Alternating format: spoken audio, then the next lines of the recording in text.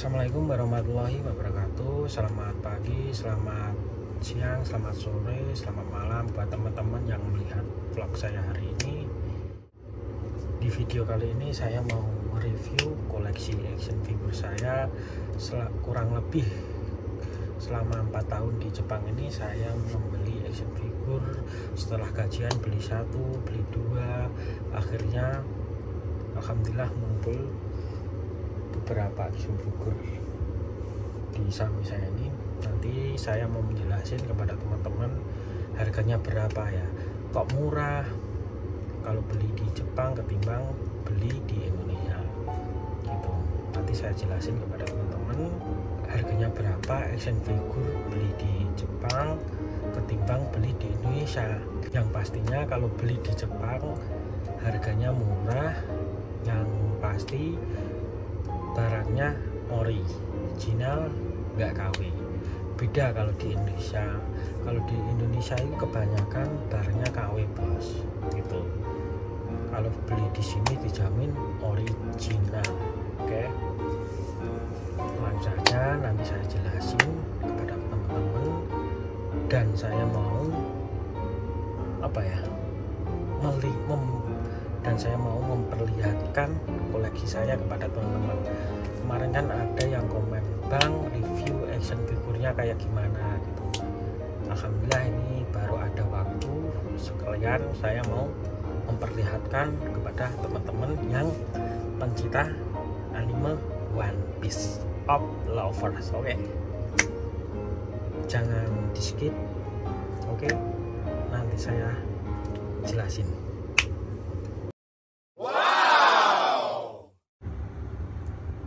ya oke teman-teman. Ya langsung saja. Ini action figure Admiral 3 ini. Saya belinya yang ya tiga inilah. Sekitar 30.000 satunya. Ini kan tiga jadinya 90.000 tuh belinya cuko. Cuko itu barang bekas ini bekas bos beli di sini. Lanjut kalau yang ini ini kan kemarin sudah saya review kan ini belinya belinya kan ini harganya 440.000 bonus buah Hancock ini. Lumayan besar bos. Ini. Ini. Ya maaf sedikit kotor. Ini adalah koleksi action saya. Di atas juga masih ada Euro di atas lagi Sanigo. Ya ini Luffy action figurnya maaf kotor-kotor semua karena kena debu. Ya ini action figure saya. Amazing! Dua Yongko bersatu. Oh ya kalau yang pajangan kayak gini itu harganya 100 ribuan. Ini 100 ribu ini 80 ribu. Tuh. Kalau yang ini masih ada ini harganya. Tuh harganya sekitar 80 ribu 800 yen. Tuh. Ya, langsung saja. Ya ini ya ini sedikit penjelasan dari saya ya. Kalau yang kayak gini harganya ini sabu harganya 30.000 kalau di Indonesia mungkin 300an lah. Kalau yang ini harganya 90.000 ini masih ingat aku. Ini Luffy harganya sekitar 100 ribu rupiah. Kalau yang ini 70.000 yang ini 30.000 kalau yang ini buah Hancock harganya sekitar 120.000 ya ini silver relic harganya sekitar 120.000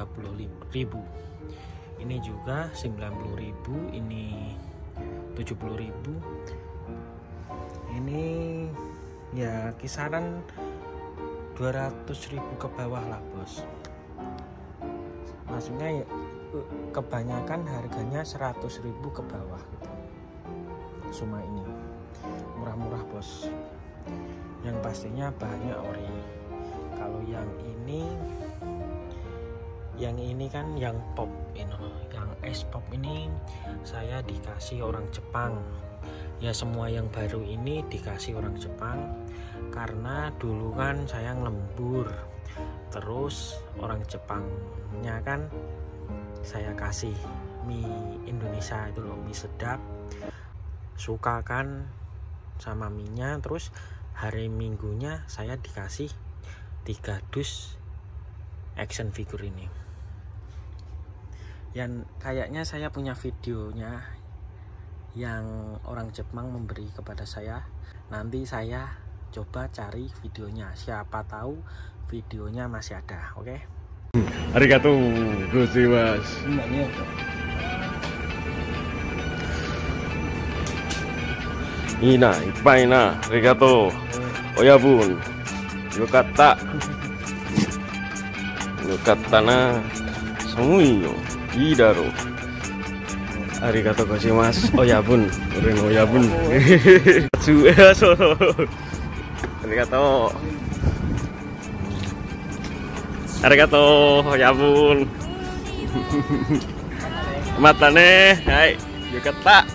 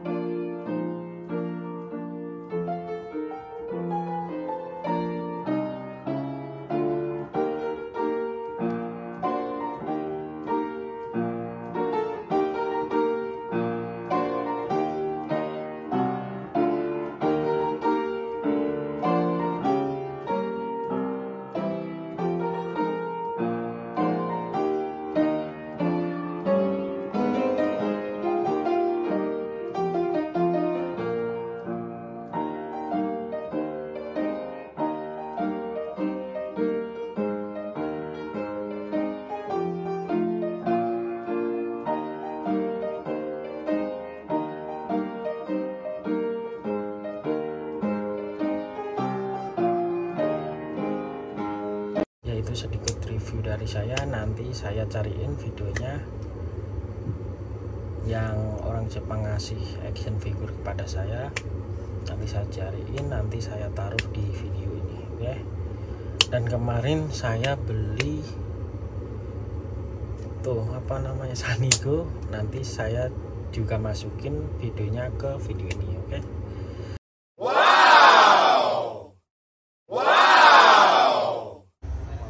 Alhamdulillah bos, paketannya udah datang ini Sanigo action figure dari One Piece.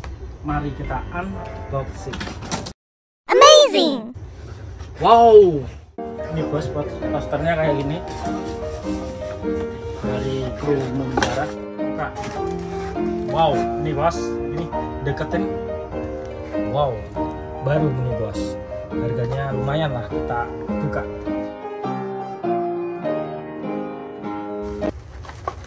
Wow. Wow, alhamdulillah.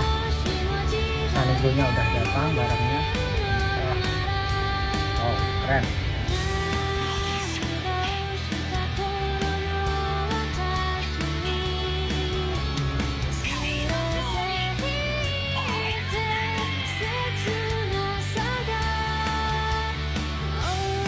Ya kira-kira kalau satu action figure ini 100 100 ribu ke bawah bos harganya bos. Murah-murah bos.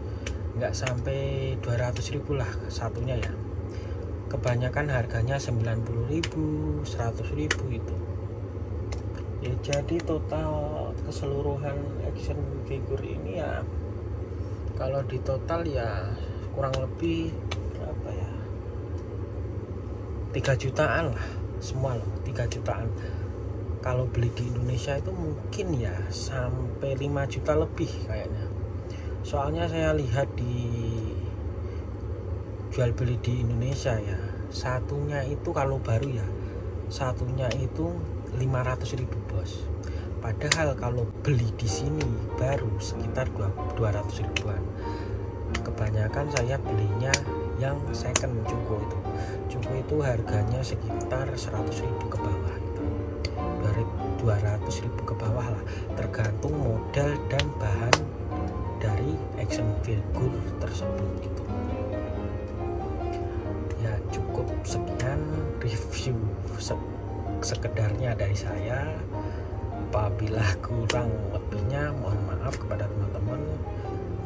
Oh ya buat teman-teman yang ingin pergi ke Jepang berangkat ke Jepang bekerja di Jepang tetap semangat belajar ingat tujuan awal pergi ke Jepang untuk apa diingat-ingat oke okay? selebihnya kalau ada turahan uang lembur bisa beli koleksi kayak saya sekarang ini oke okay? yang penting utama nabung ngebahagiaan orang tua oke okay? selebihnya kalau ada sisanya buat diri sendiri buat apa ya hadiah diri sendiri gitu oke okay? ya cukup sekian video saya hari ini mohon maaf bila ada tutur kata yang salah oke okay? Assalamualaikum warahmatullahi wabarakatuh. Ja, mata nih.